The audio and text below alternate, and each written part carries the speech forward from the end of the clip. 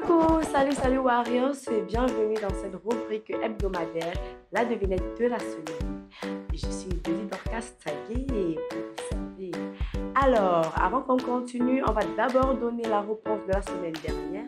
La devinette était quoi? Je suis une maman et tous mes enfants doivent mourir avant moi. Mais chacun avant de mourir vient me frotter le dos.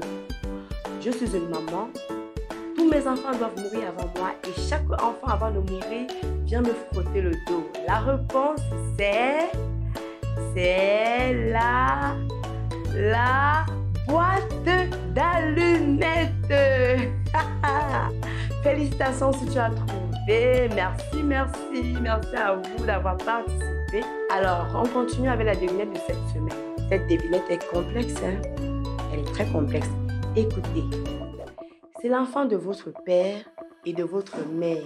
Mais ce n'est ni votre frère ni votre soeur.